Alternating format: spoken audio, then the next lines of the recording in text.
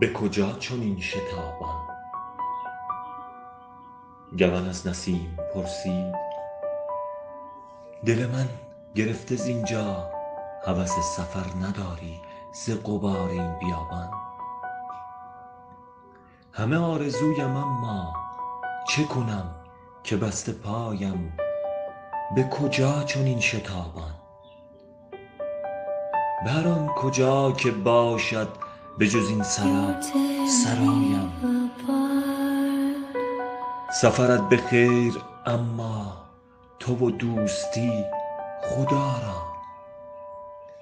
چو از این کویر وحشت به سلامتی گذشتی به شکوفه ها به باران برسان.